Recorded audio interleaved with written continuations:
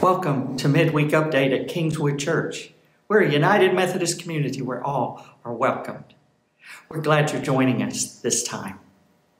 This Sunday's gospel lesson shows us how popular Jesus was with all people. It shows you that no matter where he went, people found him and sought something from him. It's also one of the meanest gospel lessons if you take it literally and at face value. A woman, a foreigner, comes pleading for healing for her daughter. Jesus basically says, I can't give the children's bread to dogs. Did he mean that the Jews were his special people and all others were no more than what we in the South would call yard dogs? That all his healing power was for his own people?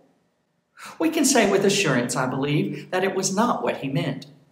In fact, the entire focus of all the Gospels is about others, neighbors, the poor, the alien, the rejected. What he was doing, I think, was challenging the woman's faith.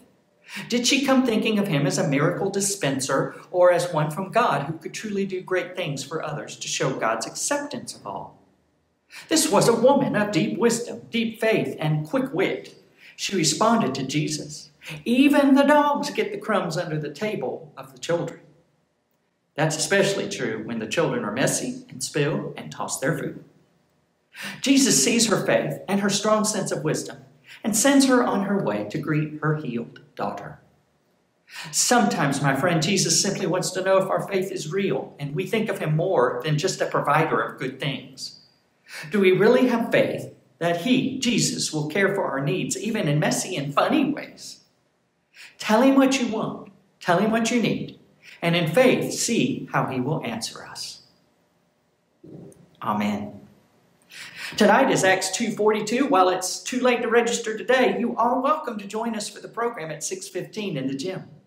Next week we're going to have sloppy joes, french fries, salad and dessert. Register online with Realm or by Monday noon, letting us know at the website. Invite a friend who's looking for a church to be your guest and treat them to a great evening. The adult Sunday school classes are having a friendly competition this fall. They're working to grow their small groups by inviting you to join them at 9:45 on Sunday mornings. There's a lot of great events planned for these adult small groups that will bless your heart and your life. This week, I want to lift up the Faith and Fellowship class.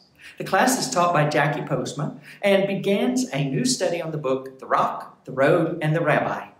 They will visit Israel with host Kathie Lee Gifford and Rabbi Jason Sobel. Come join them in room 210 of the Christian Life Center this fall and learn the Jewish wisdom from teachings of the New Testament. Do you know someone who might like to learn about Kingswood Church, this United Methodist community of ours? Starting this Sunday and running the next three Sundays, we'll be offering a Kingswood 101 class at 10 a.m. in room 226, next to the Worship Cares room, right off the lobby of the sanctuary.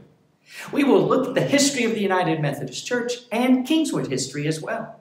Each week, we're going to dive into the mission and vision and core values of Kingswood Church. This is open to anyone, but especially to our guests who might be considering membership at Kingswood. Sign up on Realm today or go to the website to sign up. So what? This is the title of our three week sermon series coming up beginning on Sunday. I hope you'll make every effort to find out what we do with what we believe as disciples of Jesus Christ. Join us at 8:45 or 11 o'clock for worship in person or online and bring your friends, bring your neighbors to discover with you so what. We want you to keep in your prayers Jeff and Pam Morris upon the death of their son Jess last week. Also join us as we celebrate the birth of Bex Lewis 2 weeks ago. The white rose on the altar Sunday was for Jess and the red rose was for Bex as we celebrate and give thanks for what has been and what will be. Remember also to keep in your prayers Geraldine Wagner, who will be having jaw surgery this week in Texas. Friends, you are so special and so awesome to me. I thank God every day for the privilege of being your pastor and getting to love each one of you. So don't forget how special you are and that you are truly loved. We'll see you tonight or on Sunday morning. Call me if you need me. Be blessed.